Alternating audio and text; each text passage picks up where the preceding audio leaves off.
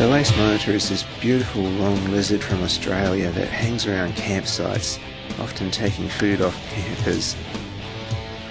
Yeah, I just love dinosaurs, and this reminds me of a small dinosaur, this guy. one of the things I really love about lizards and why I got into sketching him in the first place. Got to be fast though, this guy is just always on the move. Another great, beautiful Aussie lizard that can't fail to catch your eye as a thing of beauty.